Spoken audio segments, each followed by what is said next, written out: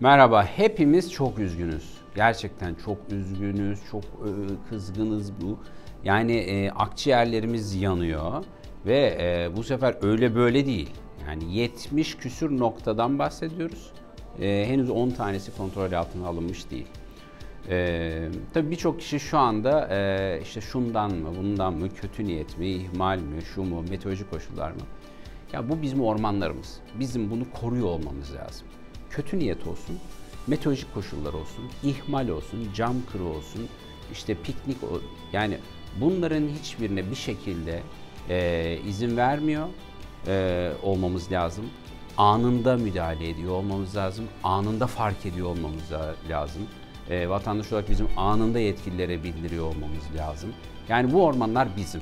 Tabii çıkış nedeni önemli. Yani bundan sonra oluşabilecek yangınlara karşı e, duruşunuzu, müdahalenizi belirliyorsunuz. Ama hali hazırda 70 noktadan fazla e, yerde çıkan e, yangından bahsediyoruz ki bunun daha 10 tanesi kontrol altına alınabilmiş durumda değil. Çünkü meteorolojik koşullar bu sefer izin vermiyor. Yani bizim şu dönemde iki tane önemli şeyimiz var. Bir bu yangının çıkmasına izin vermiyor olmamız lazım. Yani e, çok dikkatli, çok teyakkuzda, tedbirli, dikkatli olmamız lazım. Çünkü insan eliyle maalesef yüzde 89'u, neredeyse yüzde 90'ı yani 10 tane yangının 9'u insan eliyle çıkıyor. Bir kısmı kötü niyet, bir kısmı ihmal ki büyük sebep ihmal. Şimdi e, o mu bu mu falan diye sebeplerini e, düşünüyoruz ya işte kötü niyetle mi oldu, işte saldırı mı oldu, e, ihmal mi oldu, şu mu oldu, bu mu oldu. Şimdi birinin diğerinden sebep sayısı olarak çok farkı yok. Şimdi meteorolojik olarak baktığımızda dünyada zaten müthiş bir artış e, trendinde e, orman yangınları. Ağaçlar çok daha kırılgan bir süredir bahsediyorum. Ağaçları hem e, sıcaklığın artışına bağlı olarak üreme de artıyor haşeratta. Haşeratların boyutları büyüyor, sayıları artıyor, ağaçları kemiriyorlar. E, ağaçlar kuruyor ve üzerine şey geliyor, kuraklık geliyor, toprak su alamıyor. Üzerine kuru ve sıcak hava geliyor. Şimdi kırılganlık çok fazla.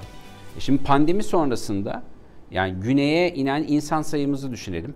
Diyelim ki e, insan eliyle, ihmalle oluşabilecek yangın e, oranı işte e, bölge insanı e, sayısına vurulacak olursa yüzde bir diyelim yani. 100 kişiden bir kişi risk oluşturuyor diyelim. Bölgeye milyonlarca insan hareket ediyor. İnsan sayısı artıyor.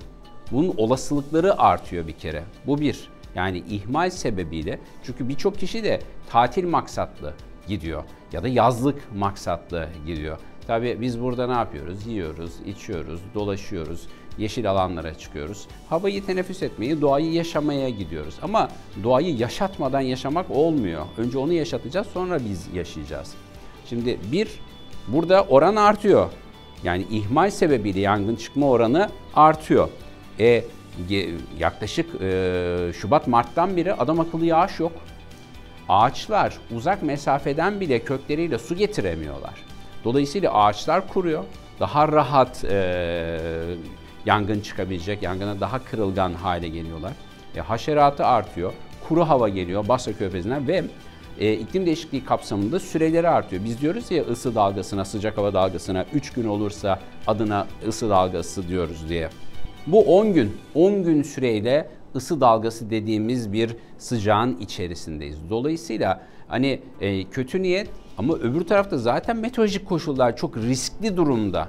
İklim koşulları çok riskli durumda. Toprağın nem durumu çok riskli durumda. İnsan sayısı çok artmış durumda. Sokağa çıkan, ormanlık alanlara çıkan insan sayısı çok artmış durumda. Dolayısıyla bizim potansiyel tehlikemiz kat ve kat artmış durumda. Bizim ormanlarımızı koruyor olmamız lazım. Dolayısıyla bu hani sebebi ondan mı bundan mı bir yangının çıkmasına izin vermeyeceğiz bir şekilde ya da olabildiğince izin vermeyeceğiz. Ne kadar engel olabiliyorsak o kadar. İkincisi teyakkuzda olunması. Hepimiz el vererek, el birliğince yani yetkilisinden, karar vericisinden e, işte sokaktaki insanına kadar yangını görüp anında yetkililere haber veren kişiye kadar hepimiz için teyakkuzda olmamız gereken bir durum ve meteorolojik koşullardan da haberdar olmamız gerekiyor. Bu hava koşullarının oluşacağı geçen haftadan e, belliydi aktarıyorduk. Meteorolojide bahsediyordu, biz de bahsediyorduk. Nem oranları çok düşüyor, sıcaklıklar çok yükseliyor ve bu uzunca bir süre olacak diye. Şimdi o uzunca süre olacak olan e, meteorolojik koşullara tekrar bir baktığımızda ne görünüyor? Bir hafta daha var. Önümüzdeki hafta bugüne kadar sıcaklıklar çok yüksek, nem çok düşük. Nerede yüksek nem var? Doğu Akdeniz'de. Ondan da dün bahsetmiştim. Kuytuda kalıyor. Yani şöyle e, düşünün. Burası Güneydoğu, burası Batı, burası Doğu. Sıcak hava giriş yapıyor. Kuru hava şöyle İç Anadolu'yu çizip, yay çizip Ege'ye Akdeniz'e doğru iniyor. Doğu Akdeniz kuytuda kalıyor. Dolayısıyla burada nem %50'ler civarında ama Batı Akdeniz'de Manavgat'ta son 3 gündür nem oranı %6 %7'lerde. Yani kupkuru bir hava var. Ee, yani e, bırakın orman yangınlarını nefes alıp verdiğinizde su kaybediyorsunuz. Ciddi anlamda su kaybediyorsunuz. Dolayısıyla dikkat, dikkat, dikkat. Ee, önümüzdeki bir hafta kadar daha sıcaklıklar İzmir'de 40 derece, Antalya'da 42-43 derecelerde, Ege genelinde 40 derecenin üzerinde, Akdeniz'in batısında 40 derecenin üzerinde, Marmara'nın batısında güneyinde 40 dereceye dayanıyor. İstanbul 36-37 dereceye çıkıyor. İstanbul'da bile nem oranı %25'lere inmiş durumda. İç Anadolu 35'lere çıkıyor. Güneydoğu 40 derece ve üzerinde sıcaklığa sahip. Bakın Akdeniz'in bu kadar yüksek sıcaklığa sahip olacağını basınç haritamız çok net gösteriyor. Bakın dünyayı çevirdik baktık görüyor musunuz? Alçak basıncın, Basra Körfezi'nden uzanan alçak basıncın uzandığı noktaya. Şimdi ta Akdeniz'in tamamını içine alıyor. E, niçin kuzeyli rüzgar esiyor? Şimdi e, şöyle size tanımlayayım. Şöyle bir e, rica edeyim telefon tutulmasını. Şimdi şöyle düşünün. Bir bölgeye rüzgar nasıl esiyor? Burada alçak basınç var, burada yüksek basınç var. Alçak basınçtan yüksek basınca doğru hava akıyor. Bu bir akışkan. Şimdi e, akışkan olduğu için akıyor. Yüksek olandan alçağa doğru bir akış var. Hemen tekrar Akdeniz'e döndük baktık. Bakın haritada. Akdeniz'in üzerinde ne var? Alçak basınç var. Yukarıda ne var? Yüksek basınç var. Nereden hava nereye esecek? Yüksek basınçtan alçak basınca. Nereden? Yani karadan denize doğru esiyor. Yani kuru hava geliyor. Bu harita bize o kadar net anlatıyor ki Güney Ege'de, Batı Akdeniz'de bu kadar kupkuru havanın olmasını. Yani sadece e, işte e, Basra Körfezi'nden gelip böyle İç Anadolu'ya dolaşıp batıya doğru gitmiyor. Alçak basınç Akdeniz'e taşınmış durumda.